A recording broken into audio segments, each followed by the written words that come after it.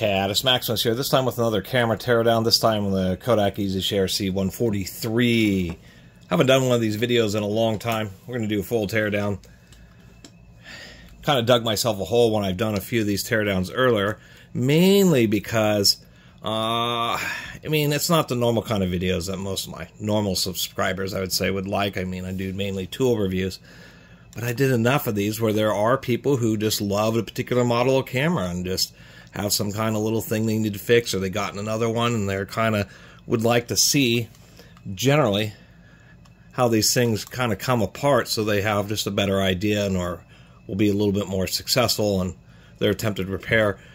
And you might wonder why in the era of cell phones it isn't just people who just prefer old school pocket cameras, but a lot of them have some type of sentimental value. We do have those three screws at the bottom, couple on the side.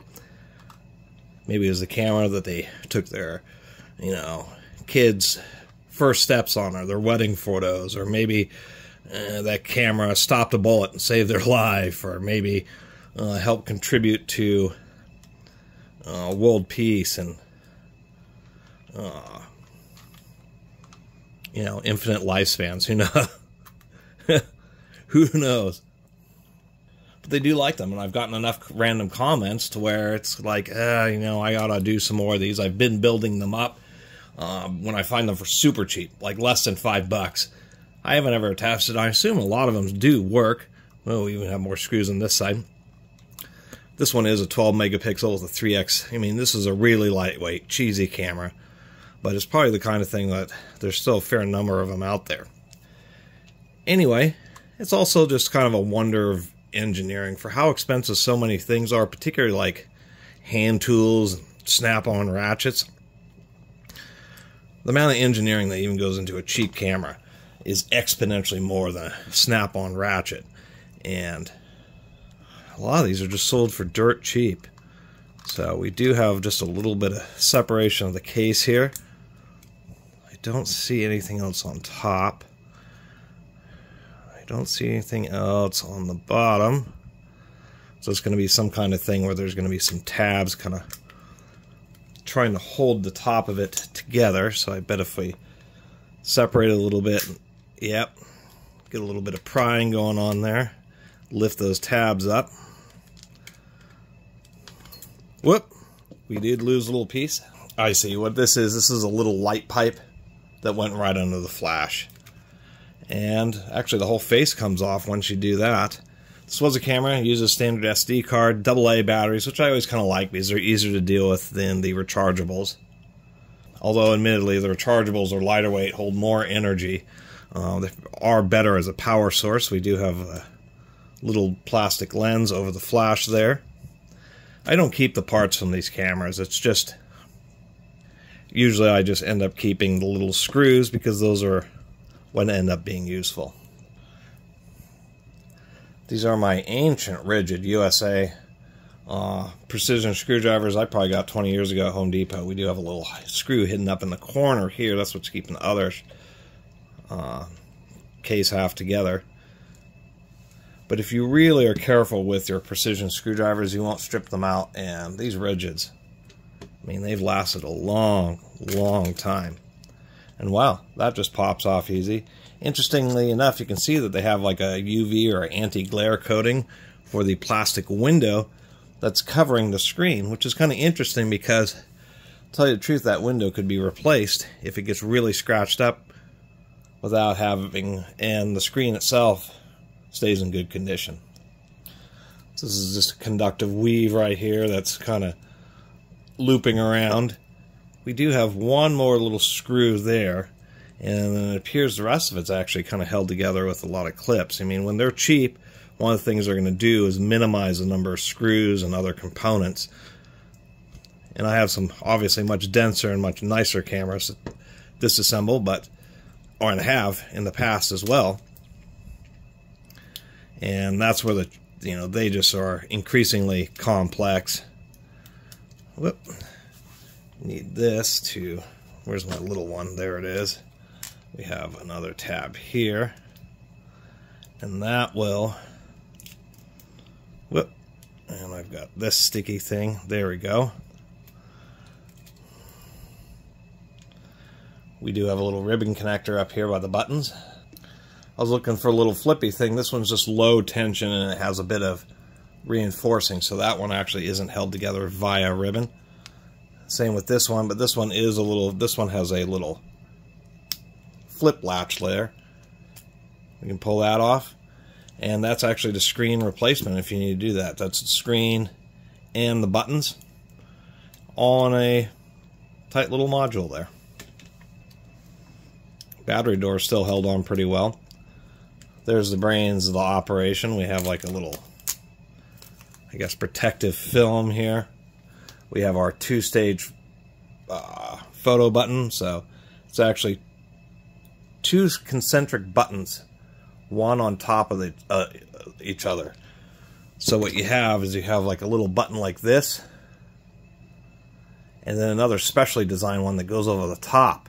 And when you press down, you you engage the upper outer one. When you press a little bit harder, it engages the lower inner one. That's how you get the partial press to focus, and then hard press to um, actually have it take the photo.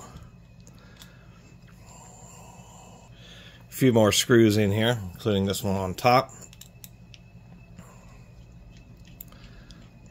And the reason I keep all the little screws of this stuff that I take apart is if you ever lose one of these screws from some other kind of service, um, or it's just missing from some other piece of electronics or whatever, these tend to be just the hardest screws to ever find if you need a replacement. But if you take apart enough random stuff, one thing I'm noticing here, this, oh, I need to try to get these all in the frame. There we go. I'm noticing that every screw is actually the same size. It's not an Apple product. So now I got to figure out how to well, flip those up, make sure there's no other screws under there. What is exactly holding this kind of whole assembly? It looks like there may be some in-place soldering. This uh, photo or the picture button is actually trick. is both a double actuator button and the zoom control all in one little integrated unit. And there is, they've actually soldered these wires to the flash capacitor after they kind of wrapped it around and installed the motherboard. We'll try releasing the camera lens here and see if we can kind of get it to cooperate. But this is not designed to... It looks like you can replace the screen because that is probably something that would be most the most likely item to be replaced everything else and the of course the the body or the housing but I'm kind of getting the feeling that this whole thing um, will definitely need would need some solder work and they wouldn't actually warranty that they'd just replace this or in reality on one this cheap just give you a whole new camera yeah you can use your thumb and just pop out this lens assembly but the rest of this motherboard um, including the wires that are what is this? Oh, for the speaker and for the microphone that's up in front are also like soldered on after assembly. So this is essentially about as far down as it goes for that. And then we do have the lens assembly here, which I always kind of like taking apart. There's a motor for the zoom. We always got some interesting screws that get these lens assemblies apart, pull those out. Always kind of like taking stuff apart just because it's a little bit of an exploration. And a slight kind of technical challenge, one where you don't, I mean, I, I don't know about other people, but I'm not as good at getting things back together as I am at taking them apart. So most of the screws are all the same size when it comes to the housing general purpose assembly screws. Of course, dealing with the actual lens element here, there's going to be some specially shaped screws. And I'm just going to pull all of them out of here. That's some little weird clip. And I have like a little, I guess that's a heat sink, a little backing plate. I don't know if uh, those are also additional screws. They are. They're just black for some reason. And were difficult to identify. They almost looked like melted over plastic pegs that were holding on this little heat sink here for the actual CCD element itself. And surprisingly enough, that's actually pretty serviceable. Just pull out four screws and you can replace the entire CCD element. Contrary to popular belief, the CCD arrays, and this is a great example, actually do still have glass over. I mean, it isn't the microchip is just exposed to the atmosphere. A lot of people with like the mirrorless cameras where you pull off the, you know, expensive ones where you pull off the lens and it looks like you're, I mean, you are looking right at the sensor element, but not the raw one. This is still something that could be, with the appropriate cleaning cloth, cleaned. And there it is. Kodak is actually the company that first patented the CCD, and it was just way too. I think it was like back in the 1970s, and basically they had figured out CCD and patented it maybe a little too early because by the time manu- microelectronic manufacturing had caught up to actually make decent resolution CCDs at rays, Kodak's patent had ran out. So it's just kind of a shame that even though they not were only known for chemical film, traditional film, but also for, you know, technically bringing us the digital camera. Uh, and the fact that, I mean, as far as CCD arrays and all the security cameras, cell phones, there's probably tens of billions of CCD based cameras that have been made.